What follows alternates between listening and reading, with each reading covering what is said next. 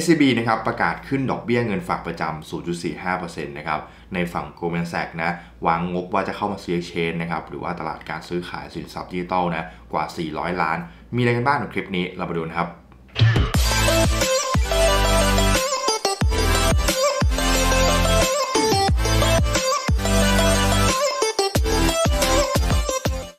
และสปอนเซอร์ในคลิปนี้นะครับสนับสนุนโดย OKX นะครับ OKX เนี่ยเป็น cryptocurrency exchange นะครับที่ใหญ่อัอันดับ 2 โลกเลยนะครับ แล้วก็มี volume การเทรดในตลาด future นะครับที่เยอะเป็นนดับหนึ่งของโลกนะครับ นอกจากนี้นะครับเขายังมีฟังก์ชันในการเทรดการลงทุนอื่นๆให้เราด้วยนะ ไม่ว่าจะเป็นตลาด spot นะครับทางฝั่ง NFT นะครับหรือว่า OKX Earn นะครับสำหรับเพื่อนที่อยากเข้าไปดูรายละเอียดเพิ่มเติมนะครับสามารถดูรายละเอียดในลิงก์ด้านล่างได้เลยครับ สวัสดีครับ ผมก๊อฟลองทุนนะครับก่อนอื่นอยากขอเพื่อนกดไลค์กด subscribe กับทางช่อง YouTube ลองทุนนิดนึงนะครับ จะได้เป็นกำลังใจให้กับทีมงานของเรา แล้วตอนนี้นะครับเรามีฟังก์ชันของ Supporter แล้วก็ลองทุน Exclusive นะครับเพื่อนๆที่อยากสนับสนุนเราและดูรายละเอียดความรู้เกี่ยวกับ Technical ทางด้านคริปโตเคอเรนซีเพิ่มเติม สามารถดูรายละเอียดในลิงก์ล่างได้เลยครับนอกจากนั้นนะครับเรามีกลุ่มไลน์เป็นแชทนะครับแล้วก็ในฝั่งของ Discord นะที่เพื่อนสามารถค่อยพูดคุยแลกเปลี่ยนความรู้นะครับเกี่ยวกับเรื่องการลงทุน เกี่ยวกับเรื่องการวิเคราะห์กราฟทางด้านคริปโตนะครับแล้วก็การวิเคราะห์ Master Trader ด้วย เพื่อนๆที่สนใจก็คลิกลิงก์จอยเข้าไปพูดคุยกันได้เลยครับ ก่อนจะเริ่มที่ข่าวแรกนะครับ ผมอยากจะอัปเดตตลาดภาพรวมนะเช้านี้กับเพื่อนๆดูนิดนึงนะครับ หลังจากที่ BC นะครับมีการปิดภาพเดย์เป็นแท่งเขียวขึ้นมานะแล้วก็ตอนนี้มีการย่อนิดหน่อยนะครับ ถ้าดูในตลาดอื่นๆเนี่ยมันมีการเทขายออกมาอย่างเช่นดาวโจนส์นะครับดาวโจนส์ดิฟลงมาประมาณ 300 จุดเนี่ยล่วงลงมาเลยนะครับ ตอนนี้ก็เหมือนจะหลุดนะตัวก้นนะครับล่าสุดนะครับที่ทำฐานไว้นะครับ ในฝั่ง NASDAQ นะครับก็ล่วงลงมาเหมือนกัน แต่ถ้าเกิดเราดูจากแนวรับเนี่ย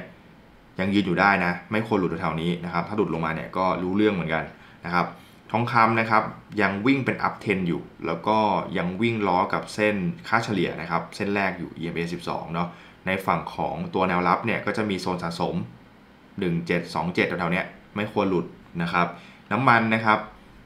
ทำนิวโลลงมานะครับ ลงมาแถวโซน 74 ละ วันนี้นะตลาดในฝั่งบ้านเราอาจจะโดนเทขายตามมานะครับ เพราะว่า ก็มีสัดส่วนของบริษัทน้ำมันค่อนข้างเยอะใช่ไหมฮะก็เดี๋ยวรอดูกัน BTC นะครับ BTC เนี่ยถ้าเราดูจากเวฟ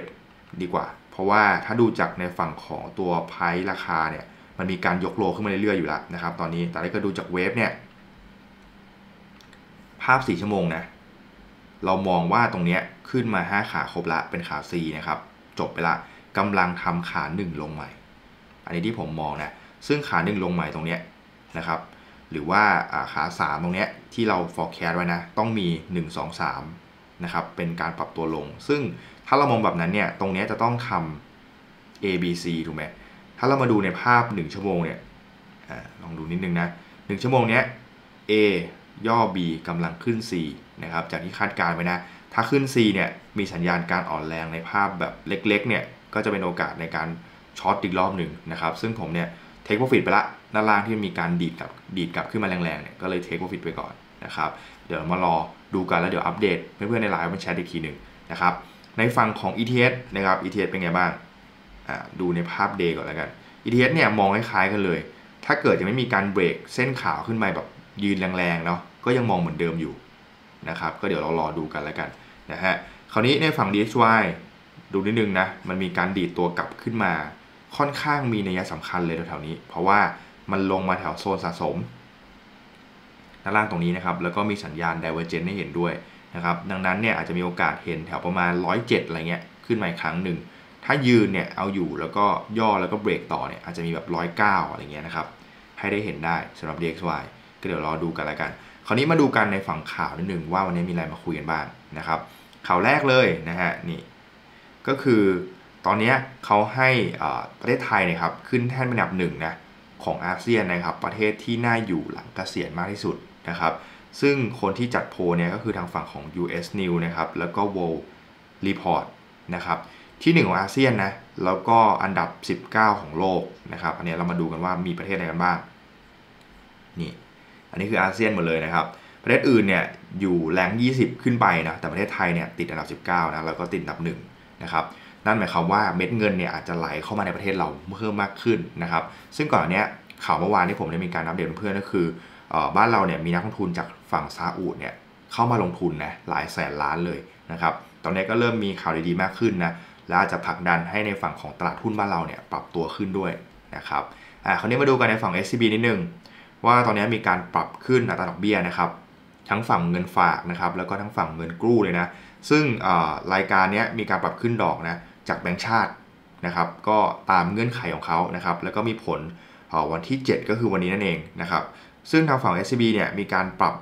ขึ้นเงินฝากประจำเนี่ยอัตราสูงสุดนะอยู่ที่ 0.45%นะครับ แล้วก็ทางฝั่งแบงก์ชาติเนี่ยมีนโยบายที่ปรับขึ้นดอก 0.25%นะครับ เป็นต่อปีเนี่ย 1.25%ละนะครับ อันนี้ก็มาอัปเดตกันแล้วกันนะฮะ คราวนี้ในฝั่ง Goldman Sachs เนี่ยเล็งนะ เล็งที่จะเข้าไปซื้อนะครับในฝั่ง Exchange หรือว่าตลาดซื้อขายสินทรัพย์ดิจิตอลนะครับซึ่งวางเงินไว้เนี่ยรวมๆประมาณ 10 ล้านเหรียญนะครับคิดเป็นเงินบาทอยู่ที่ประมาณเกือบ 400 ล้านบาทเลย แล้วซึ่งเขาอาจจะเข้าไปซื้อหรือว่าเข้าไปลงทุนนะครับเขามองว่าในฝั่งของตลาดซื้อขายแลกเปลี่ยนสินทรัพย์ดิจิตอลเนี่ยมัน discount ลงมาเยอะละ แล้วก็เข้ามาในช่วงโซนราคาที่น่าสนใจนะครับ ซึ่งข่าวนี้อาจจะผลักดันนะ หรือว่าเป็นแรงดันทำให้ตลาดคริปโตนะครับ กลับมาคึกคักในรอบหนึ่งได้ ก็เดี๋ยวรอดูกันแล้วกันนะฮะ คราวนี้ในปี 2022 เนี่ยทางฝั่งของ Morgan Stanley นะครับแล้วก็ในฝั่งของ BuzzFeed นะครับเขามีการวางแผนที่จะตัดพนักงานเลิกออฟพนักงานนะซึ่ง Morgan Stanley เนี่ยมองไว้ประมาณ 2%นะครับแล้วก็ทางฝั่งของบัตฟีดเนี่ยมองไว้ที่ 12%นะครับซึ่งเป็นบริษัทยักษ์ใหญ่นะในฝั่งสหรัฐ อันนี้ก็เป็นสัญญาณอีกอันหนึ่งนะเพราะว่าหลาย ๆ บริษัท ก็มีการ lay off พนักงานออกมาเรื่อยๆนะครับรวมถึงในฝั่งคริปโตด้วย lay off มาเยอะมากๆเมื่อวานที่มีการอัปเดตกันในไลฟ์นะฮะคราวนี้มาดูกันในฝั่งของคุณ Jim นะครับ Cramer นิดหนึ่งซึ่งเขาบอกว่าอ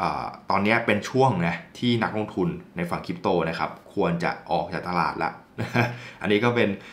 รู้สึกว่าจะเป็นพิธีกรนะในฝั่งของ CNBC นะครับเขาก็มีการพูดนะครับเกี่ยวกับทางฝั่งคริปโต ซึ่งเป็นในทิศทางที่ไม่ค่อยดีเท่าไหร่นะครับ ส่วนตัวผมเนี่ย ตอนนี้มองข่าวดีเนี่ย แทบจะมีน้อยมากประมาณ 10% 5%นะครับ ส่วนใหญ่จะเป็นข่าวร้ายหมดเลยนะฮะ แต่ที่สำคัญเนี่ยเราต้องดูในฝั่งเทคนิคให้ดี ว่ามันมีสัญญาณการดีตัวกลับไหม นั่นหมายความว่าอาจจะมีรายใหญ่หรือว่าคนที่มีเม็ดเงินเยอะๆเนี่ยมองเห็นโอกาสอะไรบางอย่างนะครับ ก็เดี๋ยวรอดูกันแล้วกัน อ่าคราวนี้มาอัปเดตกันในฝั่งของ VC กันนิดนึงว่าตอนเนี้ย มันมีการปรับตัวลงมาใช่ไหมแต่มันมีสัญญาณบางอย่างนะที่บ่งบอกอะไรบ้างนะขยับมาด้านล่างนะครับจะมีในฝั่งของ Bitcoin Long Term Holder ซึ่งนี้เป็นสัญญาณที่น่าสนใจเลย เขาบอกว่าตั้งแต่ช่วงปี 2022 เนี่ยมันมีการดรอปลงมานะตอนช่วงที่ขึ้นไปพีคๆคำว่า Long Term Holder คือคนที่ถือ Bitcoin ระยะยาวนะครับ แต่หลังจากที่มีการดิฟล่วงลงมาเนี่ยของตัวไพราคา หรือว่าสวิงลงมาเรื่อยๆเนี่ย ตอนนี้เริ่มดีดกลับขึ้นมา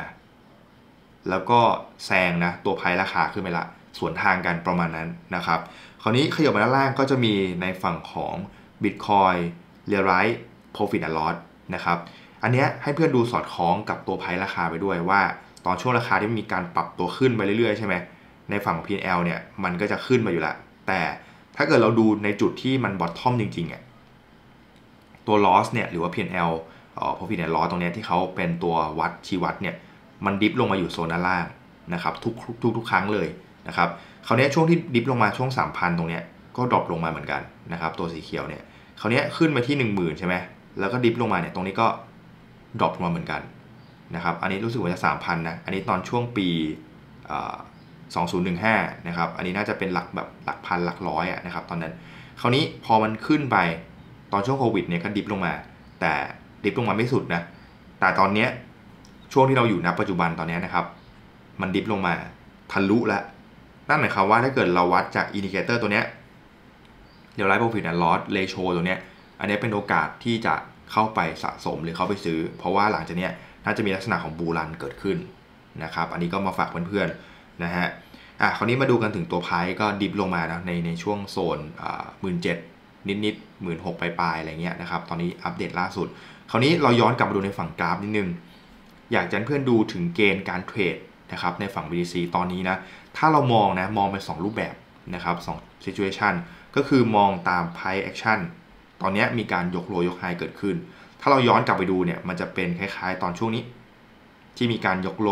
นะครับขึ้นเรื่อยๆเห็นไหมยกโลขึ้นเรื่อยๆ แล้วก็มีการเบรกลงมา อันนี้คือหมดหมดรอบ แต่ถ้าเกิดรอบนี้ยกโลขึ้นมา แล้วตรงนี้ราคาไหลขึ้นเรื่อยๆ ไม่มีการเบรกลงมาแรงๆเนี่ย น่าจะเป็นโอกาสในการปรับตัว หรือว่ากลับตัวขึ้นได้นะครับ อันนี้ขึ้น1 situation แต่ถ้าเกิดเราดูในฝั่งของเวฟที่เราได้มีการวิเคราะห์นะเนี่ยดูในภาพย่อยอีกทีหนึ่งให้เพื่อนดูนะก่อนที่จะ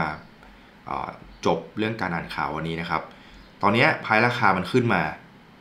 ผมมองว่าตรงนี้น่าจะมีการจบ 5 ขาไปละ แล้วก็กำลังทำขาใหม่ ถ้าเกิดเป็นแบบนี้เราใช้เกณฑ์ตรงนี้ในการพิสูจน์หรือว่าในการวัดได้ระดับประมาณ 168อะไรเงี้ย ถ้าดิฟหลุดมาอาจจะเข้ามาใน situation นี้ แต่ถ้าเกิดไม่หลุดอาจจะมองเป็น situation เมื่อกี้ของตัว price action ที่น่าจะมีการไหลของตัวไพราคานะครับในภาพ day เนี่ยขึ้นไปเรื่อยๆ อาจจะใช้ 2 เกณฑ์นี้ในการชี้วัดไปก่อนนะครับในช่วงนี้นะครับวันนี้ก็มาอัปเดตเนาะในฝั่ง technical แล้วก็ในฝั่งของข่าวภาพรวมนะครับหวังว่าจะประโยชน์นะครับ และสู่ข่าวในวันนี้นะครับก็มีข่าวในฝั่งของ Goldman Sachs นะครับแล้วก็ในฝั่งของ BuzzFeed นะครับที่จะทำการ layoff พนักงานเนาะ2%แล้วก็ 12%ซึ่งถือว่าเยอะมากๆนะครับรวมถึงในฝั่งของธนาคารประเทศไทยที่มีการปรับขึ้นดอก 0.25%นะครับทำให้ธนาคารพาณิชย์อย่าง SCB เนี่ยมีการปรับขึ้นดอกตามนะดอกเบี้ยเงินฝากประจำนะครับไปแตะที่ 0.45%ถ้าใครที่ชอบคอนเทนต์ของเราฝากกดไลค์กดแชร์กด Subscribe กับทางช่อง YouTube ลองทุนด้วยนะครับจะได้ไม่พลาดเนื้อหาในฝั่งคริปโตเคอเรนซีแล้วก็ฝั่งของ traditional market วันนี้ผมก๊อฟขอตัวลาเพื่อนไปก่อน ขอบคุณและสวัสดีครับ